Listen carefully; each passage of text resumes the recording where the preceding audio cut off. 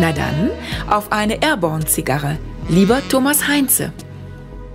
Was empfinden Sie beim Rauchen einer Zigarre? Durchweg positive Gefühle. Ich sollte aber kurz vorweg schicken, dass ich kein regelmäßiger Zigarrenraucher bin. Das heißt also, es gibt nicht einen bestimmten Tag oder eine bestimmte Uhrzeit, bei der ich mir vornehme, immer eine Zigarre zu rauchen. Wenn ich Zigarren rauche, dann immer in Gesellschaft und meistens dann bei einem guten Glas Wein und bei guten Gesprächen. Bei welcher Gelegenheit rauchen Sie eine Zigarre? Also eine Zigarre ist für mich etwas, äh, dafür muss man sich erstmal entscheiden. Das ist nicht wie eine Zigarette, die man mal so zwischen Tür und Angel rauchen kann, um runterzukommen oder seine Sucht zu befriedigen, sondern ähm, eine Zigarre zu rauchen ist eben eine Entscheidung, weil man, weil das ja auch eine ganze Menge Zeit braucht. Also die muss man sich nehmen. Und das tut man natürlich ehrlich gesagt am besten im Kreise von Freunden. Erinnern Sie sich an Ihre erste Zigarre? Ich würde mal vermuten, dass das bei den Dreharbeiten von Homo Faber war. Und die habe ich von Peter Berling bekommen. Ein großartiger Schauspieler, man kennt ihn aus der Name der Rose, auch ein Autor und natürlich ein passionierter Zigarrenraucher. Und der hat mir sicher da auf dem Schiff eine angeboten, beziehungsweise ich weiß, dass er das getan hat. Was ist Ihre nachhaltigste Erinnerung mit einer Zigarre? Als ich Peter Ustinov kennengelernt habe, ich war zur Jahrtausendwende in Jerusalem und habe da im Hotel American Colony residiert und habe auf dem hauseigenen Kanal ein Video gesehen über die Entstehungsgeschichte des American Colony Hotels und die war ganz eng mit der Familie Ustinov verbunden. Und da ich einen Freund hatte, der damals bei der Ustinov Stiftung äh, Vorsitzender war, habe ich den angerufen und sagte, als ich wieder zurück war in Deutschland, ich würde gerne mal Peter Ustinov kennenlernen und ob er das arrangieren könnte, weil ich vorhatte, eventuell einen Film über diese American Colony Hotel Entstehung zu machen. Und das hat er äh, auch eingerichtet und so habe ich Peter Ustinov in einem sehr schicken Restaurant in Düsseldorf dann damals kennengelernt und im Anschluss an ein opulentes Mahl haben wir dann eine Zigarre gemeinsam geraucht und ungefähr zwei, drei Stunden dann über dieses Hotel gesprochen. Das war für mich mit Sicherheit das nachhaltigste Zigarrenerlebnis. Was trinken Sie zu einer Zigarre?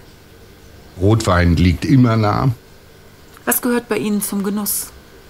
Grundvoraussetzung für Genuss ist meines Erachtens nach die Bereitschaft, sich Zeit zu nehmen. Denn nur wenn man sich Zeit nimmt und sich auf den Moment einlässt, kann man ihn auch genießen.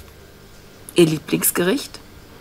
Es variiert von Tag zu Tag, aber ich weiß, dass ich, auch wenn das vielleicht heutzutage nicht mehr so gerne gehört wird, aber ich esse sehr gerne ein gutes, gutes Steak. Kochen Sie gerne? Ich habe ehrlich gesagt erst durch Zufall neulich diesen Raum entdeckt in meiner Wohnung, den ich noch gar nicht kannte. Der nennt sich Küche.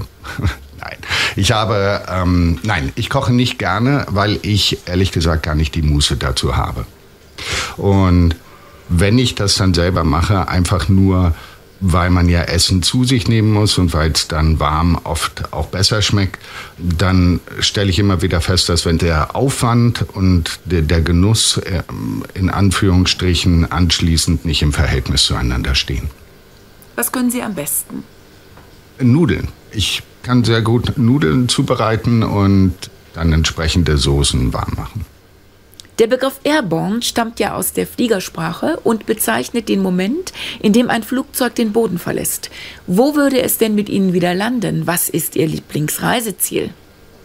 Ja, also das familiär bedingt haben wir ein kleines Häuschen in Spanien und damit sind ganz viele Familiengeschichten und Erinnerungen verbunden und das ist natürlich mein absolutes Lieblingsreiseziel, zu dem wir jedes Jahr auch ähm, fahren. Ich würde sonst sagen, alle diese Länder, die ich noch nicht bereist habe, ich würde zum Beispiel wahnsinnig gerne mal nach Neuseeland, ich würde gerne mal nach Australien, sind alles Länder, die ich noch nicht kenne. Welche Jahreszeit haben Sie am liebsten? Da ich jemand bin, der relativ schnell friert, schließen sich damit eigentlich schon drei Jahreszeiten aus, nämlich äh, Frühling, Herbst und Winter und dann bleibt eigentlich nur der Sommer übrig. Wie entspannen Sie am besten? Also ich ähm, entspanne natürlich, wie wahrscheinlich jeder Mensch, am besten beim Schlafen. Wenn ich ausreichend Schlaf gehabt habe, dann bin ich auch gewappnet für den nächsten Tag. Mit wem würden Sie gerne eine Zigarrenlänge verbringen? Ja gut, ich äh, hätte vor, vor kurzem noch hätte ich gesagt Al Pacino, aber ich hatte das große Glück, mit ihm mal zu Abend essen zu dürfen und deswegen würde ich mir dafür wahrscheinlich jetzt jemand anderes aussuchen. Wenn wir mal nicht lebende Personen nehmen würden, dann würde ich gerne mit äh, John Cassavetes eine Zigarrenlänge verbringen. Das war ein ganz großartiger Schauspieler, Regisseur und Autor und das hätte ich wahnsinnig gerne gemacht. Das sind schon mal zwei ganz gute Vorschläge. Äh, bei Bill Clinton wäre ich ein bisschen vorsichtiger. Ich würde wahrscheinlich Barack Obama nehmen. Worüber können Sie lachen? Ich kann ehrlich gesagt fast über alles lachen. Ich muss aber dazu sagen, dass ich auch Gott sei Dank von schweren Schicksalsschlägen bislang in meinem Leben verschont geblieben bin. Und ich versuche im Grunde genommen allem irgendeine komische Seite abzugewinnen. Worüber lachen Sie überhaupt nicht? Ignoranz, Überheblichkeit, das nervt mich einfach wahnsinnig. Was mögen Sie an sich? Die Fähigkeit, immer wieder neue Menschen kennenzulernen, tolle Menschen kennenzulernen und die nicht nur einmal kennenzulernen, sondern dass die ein äh, Bestandteil meines Lebens werden. Und da das wirklich tolle Menschen sind, sagt das ja irgendwie über mich aus, dass ich wahrscheinlich dann auch nicht so ganz scheiße bin. Und was mögen Sie nicht an sich? Ach, da gibt eine ganze Menge Sachen. Aber herausragend ist, glaube ich, meine Ungeduld. Welche Fähigkeiten würden Sie gerne beherrschen? Kommt darauf an, was damit gemeint ist, ob das jetzt übernatürliche Fähigkeiten sind, also was weiß ich, sich in, mit Schallgeschwindigkeit fortzubewegen oder unsichtbar zu sein und selbstheilende Kräfte wie Wolverine zu haben oder sowas. Da würde ich wahrscheinlich alles nehmen. Wenn wir über Fähigkeiten sprechen, die man wirklich selber erstmal erlernen muss oder erlernen kann, für die man auch ein Talent braucht, dann wäre das wahrscheinlich Musik machen. Also in welcher Form auch immer. Ich würde gerne ein Instrument spielen können, was ich nicht kann, oder äh, ich würde gerne singen können. Weil man, weil man mit Singen meines Erachtens nach ganz viele Menschen erreichen kann. Was ist für Sie vollkommenes Glück? So, Schauspieler gibt es ja diesen Moment, wenn man vier Stunden lang auf der Bühne gestanden hat und dann vor das Publikum tritt und der Applaus kommt und wenn die dann auch noch aufstehen, man Standing Ovations bekommt und noch von Bravo-Rufen irgendwie überschüttet wird, das fühlt sich schon dann fast wie vollkommenes Glück an. Aber für mich ist, ist ganz, ganz wichtig, weil nur dann kann ich irgendwie Glück empfinden, wenn ich weiß, dass es den Menschen, die ich liebe, wirklich gut geht. Denn wenn ich wüsste, dass es einem schlecht geht, dann könnte ich selber auch nicht ganz glücklich sein. Und das größte Unglück? Dass meinen Kindern irgendetwas zustößt. Was war die beste Entscheidung Ihres Lebens? Kinder zu bekommen. Die beste Entscheidung meines Lebens ist aber natürlich auch, dass ich dem, dem, dem Ruf meiner Leidenschaft gefolgt bin und Schauspieler geworden bin. Also ein Leben ohne die Schauspielerei oder ohne den Film im, im äh, Gesamten kann ich mir eigentlich gar nicht vorstellen. Was wäre für Sie eine Herausforderung? Naja, große Herausforderungen begegnen mir natürlich in meinem Beruf ständig jede Rolle, die ich annehme, muss ja in irgendeiner Form bewältigt werden. Und da lässt man sich ja auch immer wieder auf ganz neue Parameter ein. Also das ist immer eine Auseinandersetzung oder eben eine Zusammenarbeit mit dem Regisseur. Es ist äh, äh, man muss sich immer in diesen Charakter reinfinden, was mal mehr und mal weniger gut gelingt. Man muss das, wenn, wenn man das gemacht hat, eben auch äh, gut umsetzen. Jede neue Rolle bringt eine ganze Menge Herausforderungen mit sich. Was ist Ihr Lebensmotto? Ich weiß nicht, das klingt immer so ein bisschen nach Poesiealbum, aber wenn ich ein Lebensmotto hätte, dann wäre es Carpe Diem. Also nutze den Tag, nutze den Moment, nutze eigentlich jede Sekunde deines Lebens und äh, verschwende nicht zu viel Zeit mit der Vergangenheit und auch nicht mit dem, was in der Zukunft kommen wird, sondern versuche die Gegenwart zu leben. In welcher Zeit hätten Sie gerne gelebt? Ich wäre wahrscheinlich ganz glücklich gewesen im Hollywood der 50er Jahre oder in Las Vegas in den 60er Jahren, als das Rat Pack entstanden ist oder so. Das, das muss irgendwie eine ganz gute Zeit gewesen sein. Wer ist Ihr Lieblingsschriftsteller? Da gibt es natürlich eine ganze Menge. Also sich da auf einen festzulegen, fällt mir relativ schwer. Ich würde, also ich liebe Bücher von Gabriel Garcia Marquez.